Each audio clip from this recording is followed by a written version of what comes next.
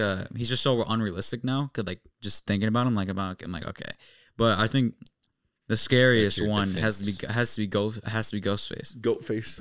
It's 'Cause goat- he's Ghostface just never really He's just more- seemed uh, because he wasn't supernatural. Everybody else was kind of like dead. yeah, Like Jason Voorhees was Dead, he came dead. back to Yeah, he life. was Michael dead. Myers was kind of like much some, like- supernatural. He can't die.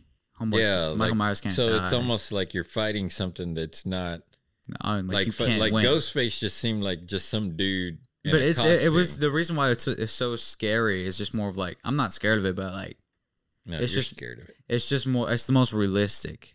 Like if, if Ghostface can Yeah, be that, anybody. that could actually yeah, happen that could actually happen, Yeah. and it's the most like it could be Ghostface can be anybody.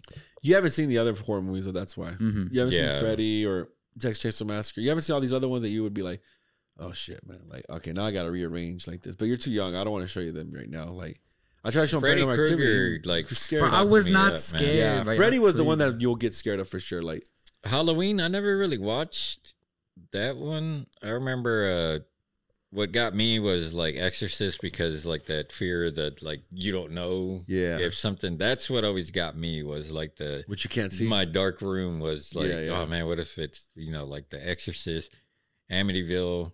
Oh, Horror Amityville was horror was good. crazy.